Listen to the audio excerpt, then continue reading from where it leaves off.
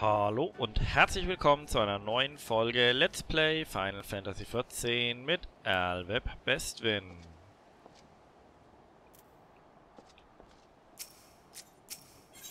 Wir sind hier noch bei der Windäther Questlinie. Oh, was gibt's denn da? Oh, was Schönes für uns. Hansaku hat recht, als Mitglied der Konföderation ist Kugane für uns tabu. Glücklicherweise hat Kikimo aber auch daran gedacht und angeboten, dass wir uns auf Sakatsuki treffen. Du wirst die Fracht mit Suzume nach Sakatsuki bringen und von dort zum verabredeten Übergabepunkt transportieren, Hansaku. Alles klar, Chef. Dich würde ich gern bitten, mich zu Kikimo zu begleiten. Dann könntest du uns miteinander bekannt machen.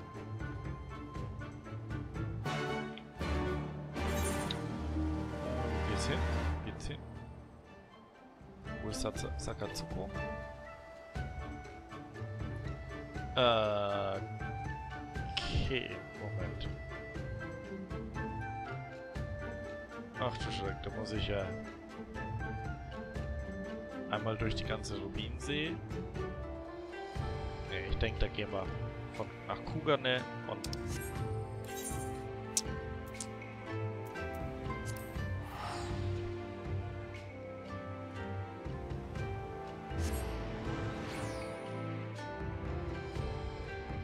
den Rest der Rubinsee werden wir schon noch kennenlernen.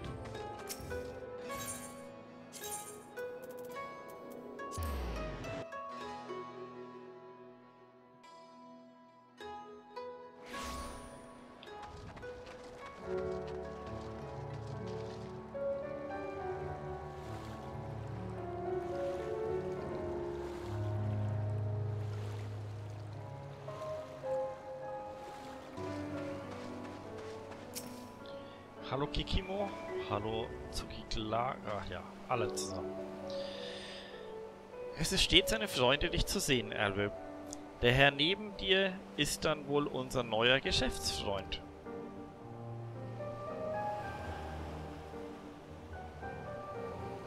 In der Tat. Es ist mir eine Freude, eure Bekanntschaft zu machen. Ich bin Tsukikage, Schatzmeister der Konföderation. Bevor wir die eigentliche Lieferung abwickeln, würde ich euch gerne noch etwas überreichen.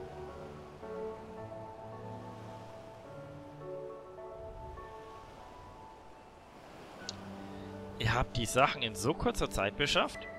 Und dann auch noch in solch hoher Qualität? Da werde ich die Bezahlung wohl noch etwas aufstocken müssen. Nichts anderes hätte die renommierte Ostaldenat Handelsgesellschaft verdient.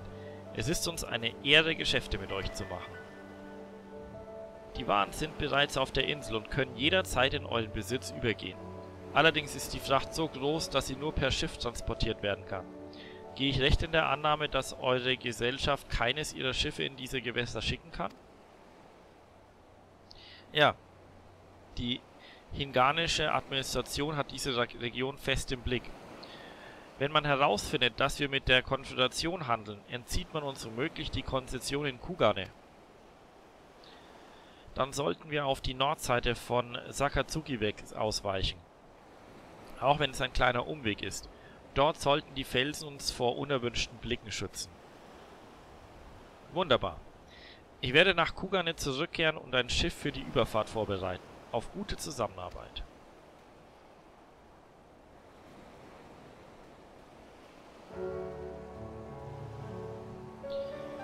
Den Ort der Übergabe hätten wir damit geklärt. Der Höllenspund liegt zwar abseits vom Auge der Regierung, wird aber auch von einigen wilden Tierarten bevölkert. Ich werde einen Stoßtrupp zusammenstellen, der die nähere Umgebung vor etwaigen Gefahren säubert. Das kannst du getrost mir überlassen, Chef. Ich sorge dafür, dass euch auf der Insel niemand stört. Sehr schön. Suzume, wärst du so nett, Hansaku dabei zu helfen? Suzume, ich möchte, dass du Hansako bei der Sicherung des Höllenspuns hilfst. Äh, wie? Äh, natürlich, Chef. Tut mir leid, meine Verletzung vom Perlentauchen hatte mich kurz abgelenkt. Darf ich mich etwas ausruhen, bevor wir aufbrechen? Oh, äh, natürlich. Leg dich im Konföderationshauf auf Sakazuki etwas hin. Ich werde einen unserer Männer hier bitten, für dich einzuspringen. Mach dir deshalb keine Sorgen. Danke, das ist sehr nett.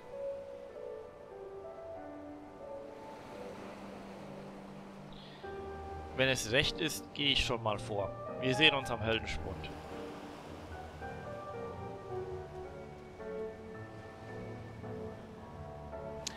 Irgendetwas stimmt tatsächlich nicht mit Suzume. So ein verdrossenes Gesicht hat sie nicht mehr gemacht, seit sie der Konföderation beigetreten ist.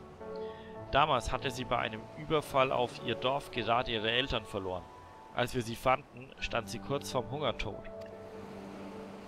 Wenn die Warenübergabe gelaufen ist, muss ich mich mal in Ruhe mit ihr unterhalten. Begleite mich bitte zum Frachtschiff.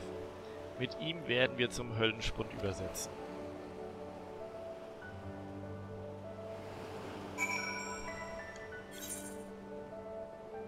Okay, das Frachtschiff ist gleich hier drüben.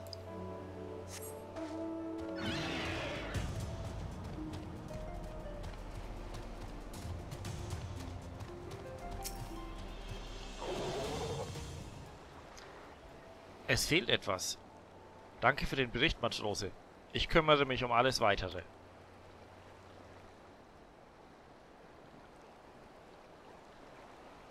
Albe, da bist du ja. Es ist mir ein Rätsel, aber bei einer leichten Überp letzten Überprüfung der Waren hat sich herausgestellt, dass der Glutmuschelring, das wohl wertvollste Stück der Lieferung, fehlt. Irgendjemand muss ihn entwendet haben. Jetzt heißt es, den Täter zu finden. Könntest du bitte Tsuzume für mich holen? Ruf sie einfach von de, vor dem Konföderation, rufe sie einfach vor dem Konföderationshaus, dann zeigt sie sich schon. Gib im Sagen-Chat-Modus, ja okay.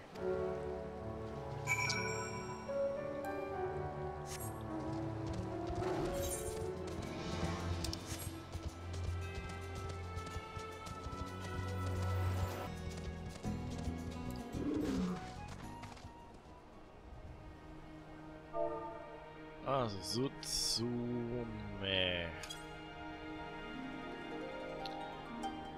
Du bist auf der Suche nach Suzume?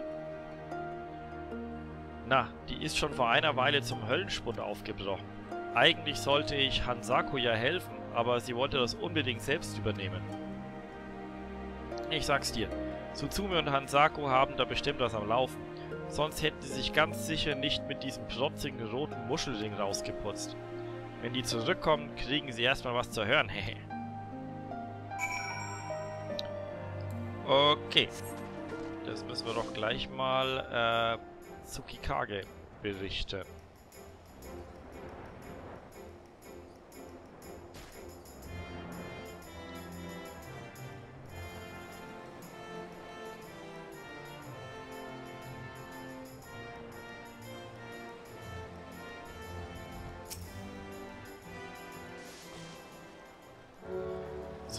Ist doch zum Höllenspund aufgebrochen, sagst du? Unser Mann vor Ort glaubt, sie würde sich heimlich mit Hansaku treffen, weil sie sich mit einem roten Muschelring herausgeputzt hat. Suzume und Hansaku nie im Leben. Und überhaupt roter Muschelring? Könnte das etwa der Glutmuschelring gewesen sein? Nein. Suzume würde sich nie etwas nehmen, ohne vorher nach Erlaubnis zu fragen. Höchstens in äußerster Not. Ich werde noch einmal die Frachtpapiere überprüfen. Also, entwendet wurde ein roter Muschelring, gezeichnet Kaisuri. Kaisuri? Das ist ja Tsutsumes Nachname. Oh Mann, das heißt doch wohl nicht etwa... Tsutsumes Eltern waren Muscheljuweliere. Eventuell stammt der Glutmuschelring von ihnen. Was bedeuten würde, dass die Halunken von neulich dieselben Räuber waren, die Tsutsumes Dorf überfallen haben. Und Suzume weiß, dass Hansaku mal zu ihnen gehört hat. Verflucht. Will sie etwa Rache an ihm nehmen? Na, das können wir hoffentlich verhindern.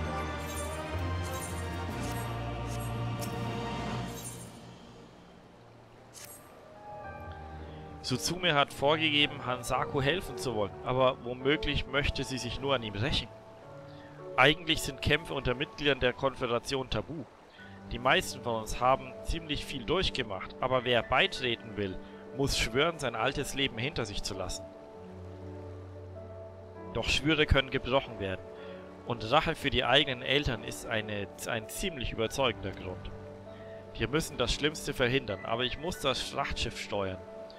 Und der Kahn ist leider viel zu lahm. Ich werde nicht rechtzeitig eingreifen können. Eil mir voraus, Erwib. Finde Hansaku und halte Suzume unter allen Umständen von ihren Racheplänen ab.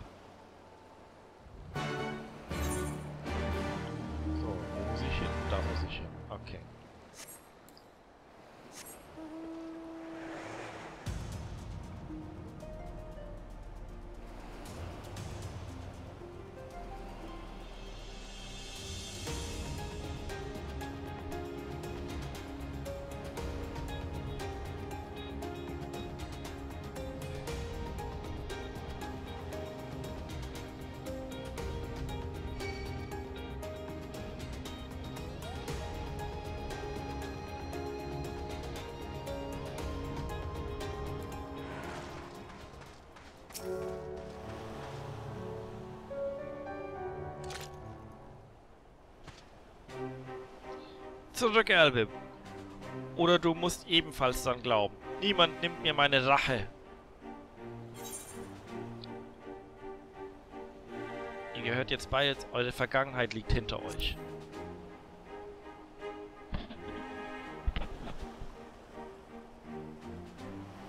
Das sagst du so leicht. Der Kerl und seine Komplizen haben meine Eltern auf dem Gewissen. Wenn ich sie nicht räche, werde ich meines Lebens nicht mehr froh.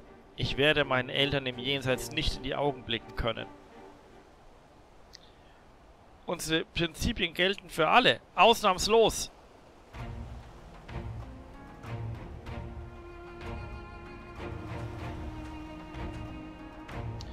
In der Konföderation sind wir Brüder und Schwestern. Wer Hand an einen von uns legt, zahlt mit seinem Leben. Bist du bereit, diesen Preis zu zahlen? Sonst wäre ich wohl kaum hier. Also gut, wie du willst. Versuche es ruhig. Aber erst nachdem unser Geschäft mit der Ostalternat Handelsgesellschaft gelaufen ist. Wenn das nämlich platzt, ist das Ende der Konföderation besiegelt. Oder willst du uns etwa alle ins Verderben reißen? Na, nein, natürlich nicht. Also gut, ich werde bis zum Ende der Übergabe warten. Wunderbar. Dann kannst du dich in der Zwischenzeit ja auch etwas nützlich machen.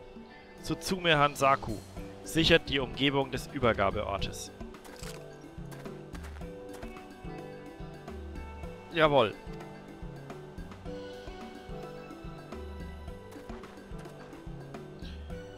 Komm bloß nicht auf dumme Gedanken, Tsuzume.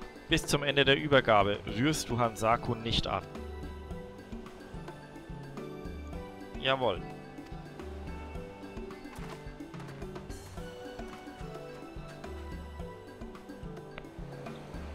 Sturm, Flut und Orkan, das war knapp. Ein Glück, dass du rechtzeitig da warst. Ich werde zum Schiff zurückkehren und die Ladung bewachen. Kümmere du dich bitte ebenfalls um die Sicherung der Nordseite dieser Insel. Wenn du dort fertig bist, kann es vermutlich nicht schaden, einmal nach Suzume zu sehen. Sie hat mir zwar ihr Versprechen gegeben, aber in ihrer jetzigen Verfassung ist sie zu labil.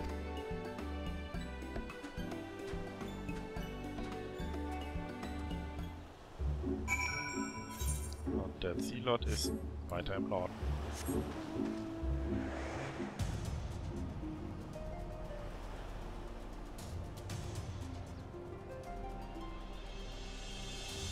Ah, da glitzert es ja schon.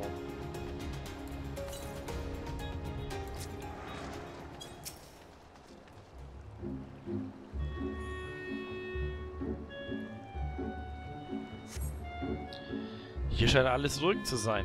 Zieh nach Suzume.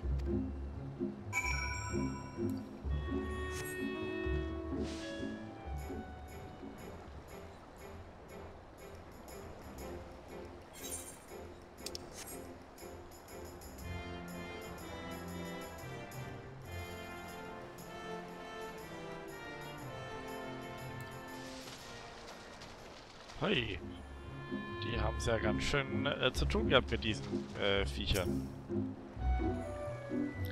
Erlbe, ich wurde hinterrücks angegriffen. Wenn Hansaku nicht gewesen wäre, diese Biester müssen noch in der Nähe sein. Pass auf! Natürlich passe ich auf.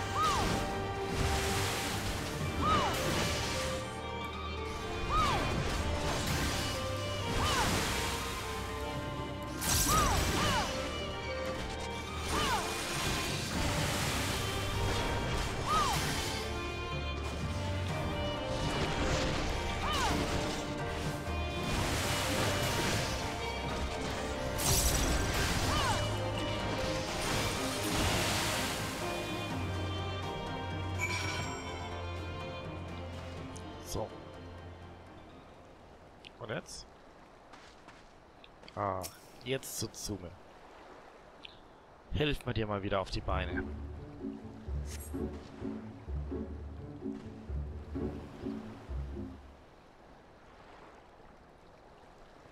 Danke, Elweb.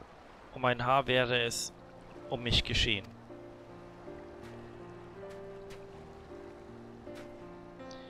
Ich war so außer mir vor Wut, dass ich das Biest in meinem Rücken nicht bemerkt habe. Wenn Hansaku nicht, sich nicht dazwischen geworfen hätte, wäre ich jetzt vermutlich tot. Aber sicher hat er das nur wegen seines schlechten Gewissens getan. N nein, das stimmt nicht. Ich hatte gar keine Zeit zum Nachdenken. So schnell ging alles. Mein Instinkt hat die Kontrolle übernommen, glaube ich. Naja, äh, Hauptsache dir ist nichts passiert. Was rede ich da? Ich würde Herrn Saku im, als würde Herrn Saku im Voraus planen. Hör auf, hier abzuwiegeln. Das war kein Lob. Du bist eine absolute Nullnummer, weißt du? Ich meine, wer rettet schon jemanden, der einen umbringen will? Ist doch total bescheuert. Denkst du eigentlich überhaupt jemals nach? Aber vielleicht denke ich auch einfach zu viel nach.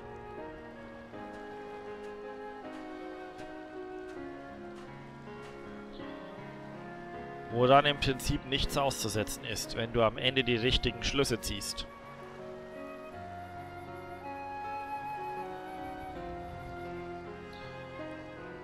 Hansaku, es tut mir leid. Ich war gefangen in der Vergangenheit. Danke für deine Hilfe gerade. Vielleicht habe ich ja Glück und die Konföderation gibt mir noch eine zweite Chance. Das will ich doch schwer hoffen. Ohne dich wären wir aufgeschmissen.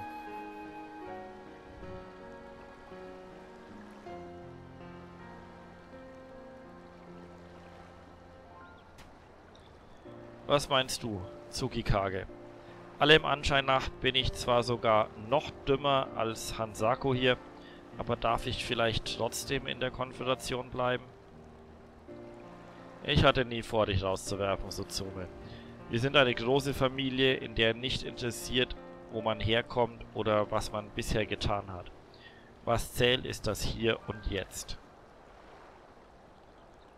Ei. Ähm, sag mal, Chef, Kikimo müsste eigentlich jeden Moment hier eintreffen, oder? Macht sicher keinen guten Eindruck, wenn wir sie gleich beim ersten Mal versetzen. Die Familie geht vor. Selbst wenn unser Geschäft mit der Ostaldenat Handelsgesellschaft platzen sollte. Gemeinsam finden wir schon einen Weg aus der Misere. Redet ihr von unserem Geschäft?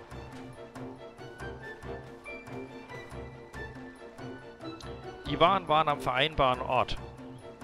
Aber niemand von euch. Einer der Matrosen sagte mir, ohne den Kapitän könne er die Übergabe nicht abwickeln. Also bin ich euch suchen gegangen. Ich hatte schon das Schlimmste befürchtet. Ich bin untröstlich, aber es gab da eine interne Angelegenheit, deren Klärung, Klärung keinen Aufschub erlaubte. Wenigstens weiß ich jetzt, dass die Konföderation Werte wie Zusammenhalt schätzt. Das stimmt mich zuversichtlich und bestärkt meinen Entschluss, eine langfristige Geschäftsbeziehung mit euch einzugehen. Und an deren Anfang steht hoffentlich die heutige Warenübergabe. Seht sie, steht sie doch, oder? Selbstverständlich. Wir werden sofort mit der Verladung beginnen. Bewegt deinen lahmen Hintern, Hansaku.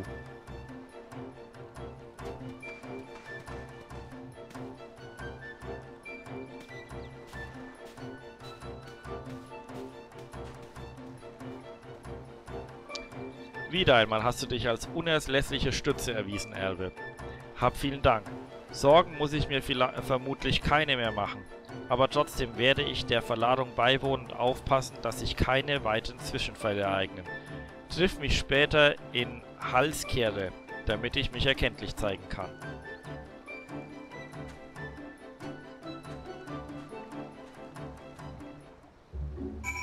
Wo soll ich mich mit dir treffen? Ach, dahin. Okay.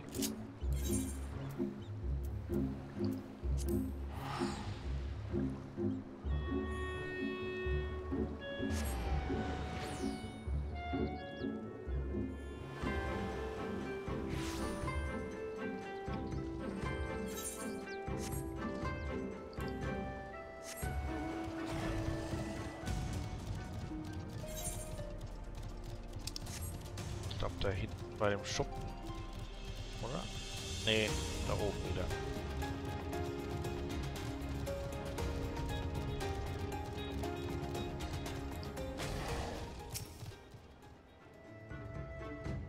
Am Ende lief alles glimpflich.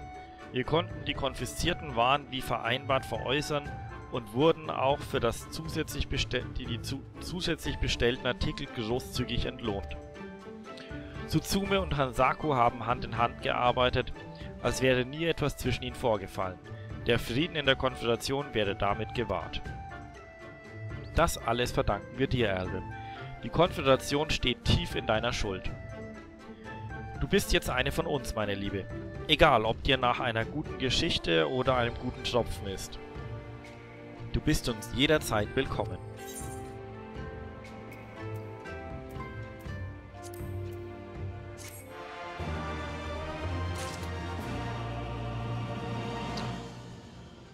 Okay, dann hätten wir diese Nebenstory auch erledigt. Beim nächsten Mal gibt es dann eine ähm, Jobquest. Und dann machen wir mit der Main Story weiter. Bis dahin, macht's gut!